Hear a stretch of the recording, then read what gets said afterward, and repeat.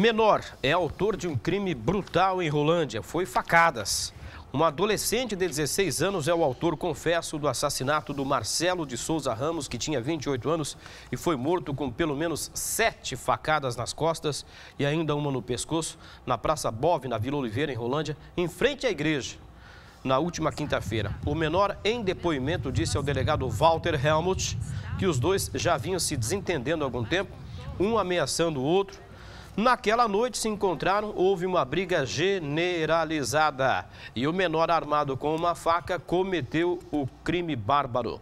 Outro menor envolvido estaria homiciado, viu, Jogão? Hum. Ou seja, escondido aqui em Londrina. É assim Mas que fala? é isso. Os policiais falam, né? Homiciado. Hum, escondido. Entendi. É, isso. Mas escondido. Isso. Mas o doutor Walter Helmut já sabe quem é, né? Então é melhor se entregar. Vai lá em Rolândia, vai lá dar uma passeada em Rolândia, meu filho. Vai lá e conversa com o doutor, né, meu filho?